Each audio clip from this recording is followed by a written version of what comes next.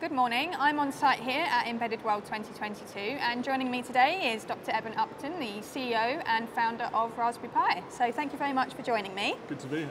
Um, so we're going to be talking about the Raspberry Pi and exciting new microcontroller that they've launched. But first of all, could you um, start by explaining the difference between Raspberry Pi for the home and Raspberry Pi for the industry? Well, Raspberry Pi was originally conceived as a platform for getting young people excited about computers again. Yeah. You know, there's enormous excitement, particularly, you know, we're UK-based, enormous excitement about um, uh, home computing in the 1980s. That fed through into a generation of university students, a generation of professional design engineers. Mm -hmm. um, and as that kind of, as that, some of that excitement ebbed away, universities, industry were struggling to find recruits. Yeah. So that's kind of that's kind of where Raspberry Pi has come from, this kind of education and hobbyist space. It's still where a lot of the excitement and energy um, about Raspberry Pi is. Um, what we've seen over the decade that we've been selling Raspberry Pi products is an increase in industrial acceptance, industrial interest, industrial acceptance mm -hmm. of Raspberry Pi products um, as a platform for industrial computing. Mm. Interesting thing is many, and we're seeing this here at the show, many of the um, uh, those hobbyists who were using Raspberry Pi in 2012, yeah. they were professional design engineers. And a lot of the driver, the big, probably the biggest driver for the adoption of Raspberry Pi in industry over that decade has been those hobbyists, those enthusiasts who were also professional engineers, taking the platform with them from their personal lives. And so people come to the stand and say, hey, here's an amazing thing that I've done with Raspberry Pi at home. It runs my media center at home. Yeah. And hey, here's an amazing industrial robot that I've done with the same platform in my, in my day job. Mm, fantastic. Possibilities are endless. Um, so what would you say are some of the most beneficial features of the Raspberry Pi? Uh, what we've been able to do is we've been able to take really cutting edge um, silicon, compute silicon. Yeah. We've been able to package it in a form which is very, very generally applicable.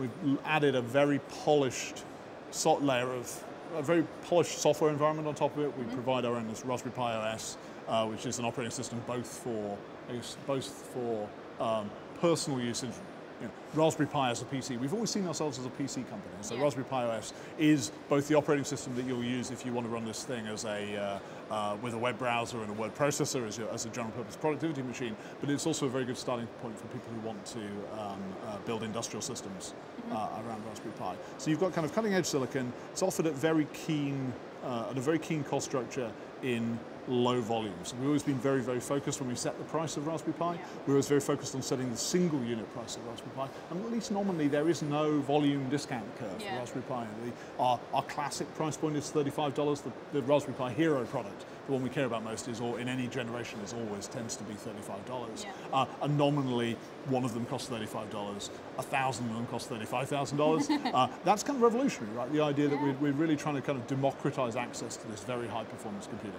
Yeah, it's fantastic.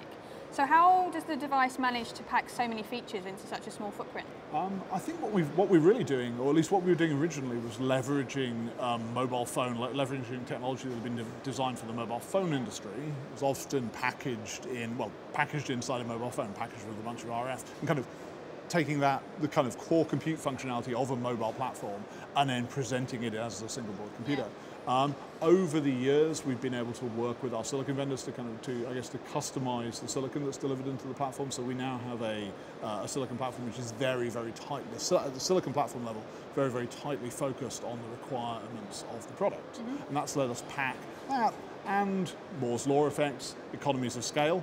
You know, we were we were doing our products cost thirty five dollars when we were making ten thousand of them. Now we're making six, seven, eight million of them a year. So kind of those all of those things stacked together to let us pack. It's roughly 40 times the processing performance of the 2012 Raspberry right, Pi in, uh, in Raspberry Pi 4, uh, roughly eight times as much memory. Obviously, we've been able to add um, uh, dual band wireless and Bluetooth. So it's just really all of those things come together, and we've always, you know, we've always where I guess where margin has opened up in the platform, we've tended to pack features into, rather than taking that margin as profit or dropping the price of the platform, what we've always tended to do is take that opportunity to pack more features into our signature price yeah. point. Excellent, fantastic. So what hardware and software support do you offer? Um, we, uh, so we, we historically, very little. So historically we've provided the platform, uh, we provided the, uh, the you know, all of the software investments we've made uh, have been at the, uh, at the lowest platform level. So at the kind of kernel, kernel and firmware level, some targeted investment in middleware, um, uh, some very, very targeted investment in applications, so media playback and web browsing. Mm -hmm. um, so historically, that's been the goal, and it's one of the it's obviously one of the ways we're able to offer the platform at a at a cost at a Yeah. cost-effective price point. Probably what you've seen has changed over the last couple of years is the growth of we've we've taken steps to foster a community of design partners around the platform, Right. and so the goal is to make the base platform very very usable for the vast majority of people without design support. Mm-hmm. But where people feel they need design support, we now have a network of partners who we can send people to who will provide that design support on a consulting basis. Excellent. Um, so what would you say are some of the most exciting projects that you've seen come out of the Raspberry Pi? Um, there must be loads, I There know. are, you know, the other thing, there, there are loads. I mean, I'll, I'll, I'll pick out. I guess I'll cheat. I'll pick out one that one that's actually ours, or Yeah. one that's done by the Raspberry Pi Foundation, which is our, our, our charitable parent organisation. Um, AstroPi, we've put um, uh, two successive pairs of Raspberry Pis. We've had four Raspberry Pis now uh, on the International Space Station. Um, that um, you know, we, we talk about getting young people excited about Yeah. uh, computing, getting young people excited about technology. There is nothing more exciting for a young person than be able to say that your computer program that you've written has run in space. Yeah. And so the AstroPi program has let tens of thousands of uh, teams of young people run their code on the International Space Station. That's one of ours. Um, other ones, um, we've seen a. There are a lot of um, a lot of platforms in the, uh, the probably the digital signage. The digital signage space has always been very Yeah. large for us. Um, thin client has become big for us as well. Um, you know, we are we have a we have a very long-standing relationship with Citrix. a lot of people now using Raspberry Pi and Raspberry Pi derived industrial products, commercial products as uh, thin clients on the corporate desktop. Um, one of my favorite kind of whimsical example, um, uh, an engineer, a design engineer in Japan, uh, whose uh, parents ran a cucumber farm, was able to build an artificial, an art, a, a, TensorFlow, train a TensorFlow model to classify Japanese spiny cucumbers into 23 different classes, which is normally done by, done, normally done by human beings, um, and then sort those into bins. His aging parents were not enjoying spending all day, every day sorting spiny cucumbers, and so he was able to do not a perfect sort, but a good first pass sort based on machine learning and Raspberry Pi. I like it because it's whimsical, and I like it because it's a, it's a pocket example of what I see a lot of people in the industry doing with Raspberry Pi, which is using it as a kind of hub that interfaces between vision, um, computing, the network, and physical actuation. So this is a thing that's taking uh, this is a thing that's uh, taking pictures, running a local machine learning model, reporting results to the network, and then actuating little paddles to knock these things into buckets. Fantastic. You must be so proud to see your device in so many different applications. It's wonderful and it's disorienting. You know, when you if you walk around the show here, we walk, um, I was walking around the show earlier, and you see how many of the stands here have Raspberry Pi hardware on them. Not because they are uh, necessarily uh, marketing a Raspberry Pi device product, but just because people of the sort who are on stands here need general purpose compute, and we are a cost-effective and high-performance provider of them. Yeah, brilliant. Um, so, how has the Raspberry Pi changed the way the design community go about prototyping? Um, I think it's given, yeah, because we have this focus on um, we have this focus on single unit cost. Um, it's given people access to a level of capability um, for uh, at a price point and at an availability level. Now, obviously, we're currently in a we're currently in an interesting and challenging environment with respect to the availability of any electronic product. Um, but in general, you know, the, the the picture for Raspberry Pi is you can go buy 10,000 Raspberry Pis tomorrow.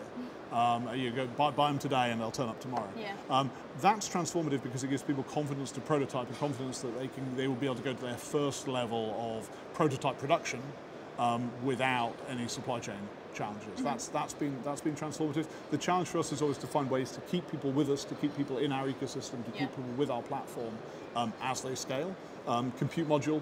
Um, the, our, our compute module line of products is really key to that. So taking the brain, so you might see someone who does their first thousand um, uh, units on the back of the Raspberry Pi single board computer platform. Then, as they just want, want to go to scale, maybe they want to take some cost out of the platform, maybe they want to get some flexibility in terms of form factor, they'll then u- migrate to our modularized um, uh, version of the platform, which then gives them flexibility to design a baseboard which has the, the, the physical form factor and the mix of peripherals that they really need for their scale product. Brilliant. So, Embedded World just happens to be the place where you launched Raspberry Pi 10 years ago. How has the device evolved over the last 10 years? Yeah, so this is the spiritual home of Raspberry Pi. Yeah. Um, it, it's, it's to blame for, so we launched Raspberry Pi on the 29th of February 2012. Um, so it's like, it is to blame for this idiosyncratic birthday we have. So we've only had two birthday parties so far, right? We'll Oh have dear. another, we'll have a great, we'll have a great birthday party in two years' time for our, for our third birthday. Um, uh, it's, I mean, obviously the, the main, you know, as a device, um, it's gained a, um, I'll probably pick out three things. One, the device itself. We've iteratively optimized the, the design around both. Fortunately, there hasn't really been a tension between the things we've wanted to do to make it better for education and the things Yeah. we've done to make it better for industry. So just the quality of the device has improved. The, um, uh, the, the performance of the device has improved massively. You have Yeah. roughly, as I said, a, roughly a 40-fold uh, increase in performance um, between our, our starting point and where we are today. Um, so those are big things. I think the I think probably the other things are are more ecosystem, uh, more ecosystem items. So just a vast number of, of companies um, innovating around Raspberry Pi, offering um, uh, value-added solutions built on the Raspberry Pi platform. So it's not just you know, this would be a it's a platform for open innovation, right? This isn't um, this would be a very different world if every innovation in the Raspberry Pi ecosystem had to come from us. We're still a relatively small organization. Yeah. The most exciting things about Raspberry Pi are the things that we don't know about until someone walks up to our stand here and tells us about them. Well, following on from that, then, where, where do you see the Raspberry Pi heading in the future? You know, what do you predict people will need from it in you know the next five, ten years? Um, I think there's a the the interesting thing is, of course, that Raspberry Pi 3 in, in 20 when we launched Raspberry Pi 3 in 2016, so quite a long way back. Three, you know, actually uh, only four years into the program. Um, that was the point at which the Raspberry Pi kind of reached maturity in terms of the basic offer from the platform. That's the point at which we added wireless networking, uh, where we added Wi-Fi and uh, Wi-Fi and Bluetooth. Um, and really, subsequent Raspberry Pi platforms have been quantitative, quantitative rather than qualitative um, uh, uh, improvements. And so yes, absolutely, you can imagine that future Raspberry Pi platforms. It's a little bit hard to think about this in the middle of all the supply chain challenges that the industry is facing. But obviously, future Raspberry Pis are likely to be more powerful. Yeah. They're likely to grow support for new radio standards. Um, uh, you know, new, new radio standards, new interfacing standards. Um, generally, um, all of those things are higher performance versions of standards that we already support. So you can imagine some sort of evolution there. Um, we obviously have had some form factor innovation um, in the Raspberry Pi 4 gen- previous generations. We've made the single board computer product and a modularized version. With Raspberry Pi 4, we did the the, the, the basic SBC, we did the modules, and we've also done this product called Pi 400, which is really harking back to that 1980s. So Raspberry Pi computer, Raspberry Pi PC, and a keyboard, really harking back to that 1980s form factor. Yeah. Well, you may see some more form factor innovation from us. We do work with our um, uh, we do work with our partners to to try to understand what form factors people are asking for. Um, I don't know whether there is another form factor variation in the SBC space or in the module space. Um, so yeah, you'll I think you'll you'll see you'll see certainly quantitative innovation, and then you'll see us trying to build out. You know, we talk a little bit about um, missing complements. Uh, you know, we were we were originally very purist with Raspberry Pi. We said we're just going to build the we're just going to build the board, Yeah. and then over time we got drawn into building certain targeted accessories that really exploit engineering capabilities we have. So cameras and displays, where where the kind of knowledge of the GPU functionality and the design is very useful. Um, then you've seen us do um, what we call generic accessories, things like USB power supplies, where Yeah. we're largely, uh, you know, we're taking a, a third-party design, applying our level of kind of design gloss to it, and then making it available to people. So you'll see, you'll probably see there are a few more generics that we don't have, and you might see us do some generics. Uh, and all of those things, as you build, you know, what have we learned from a business perspective? It's not just about the core product. It's about the complements around it, whether those are physical objects, whether those are software objects, or whether they are ecosystem objects. Uh, and the Approved Design Partner Program is probably the biggest example of that. Yeah. wow, I look forward to seeing where you go in the future. Um, as I say, it's still fun. I mean, I've been running Yeah. this for a decade. It's still fun, and it's still fun because we are finding things today. You know, we will come away from this show, I'm sure, with two or three things that we really should have known about. Yeah. Two, two or three things that we really should be doing, uh, and that's what keeps it fresh. Brilliant, that's fantastic. So, can you tell us now about your microcontroller Mm. that you launched in January last year? So, what are some of its features and use cases? Well, this is so. The, I knew this is really what we're here to talk about. This is really what we're here here at the show to, Yeah. to talk about and promote. Um, Raspberry Pi historically has been a uh, an electronic product manufacturer. We take other people's silicon, we assemble it into what we think are very innovative products, Yeah. but nonetheless we are taking other people's silicon in order to do that. Um, RP2040 and so Raspberry Pi Pico, which is mm-hmm. our board level microcontroller product, and RP2040, which is the microcontroller that power it, represent a kind of a departure from that mode of that, that, from that mode of operation, where, where we're saying, well, actually, what have we in the decade we've been doing this? What have we learned? About what makes a good piece of silicon for one of our products, and is that now within, as with a larger engineering team, is it now within our reach to try and build a perfect, what we would consider to be a perfect microcontroller? Yeah. And that's what RP2040 is. It's really Raspberry Pi's attempt to build a perfect microcontroller. Mm-hmm. And I guess there are two things going on there. One is we've brought a, you know, a good, a very polished, generic microcontroller platform to a fairly advanced process node, to the 40 nanometer process node. Many, many microcontrollers are on. One of the reasons why there are availability challenges, in particular for microcontrollers, is that they are often built on very old process nodes, which have very fixed, finite amounts of capacity, uh, and where uh, the logic density is low enough that individual die are quite large, and therefore you're not getting a lot of value out of each wafer. We brought our controller to 40 uh, to, to, to 40 nanometers, which you get if we have a um, uh, 300 millimeter wafer, we get 21,000 die out of that wafer. Um, so, you, so you get a device which is both very efficient in its use of silicon, very relevant this year, Yeah. um, has very low power consumption, very low dynamic power consumption because you know, because, because it's on the advanced process node. So we've taken a, a strong, well-designed generic microcontroller to an advanced process node. Um, and then we have uh, what I'd call a spike in the design. We have this thing called uh, programmable I/O, PIO, in the design, and that's really designed. We have we have a the standard set of um, medium speed.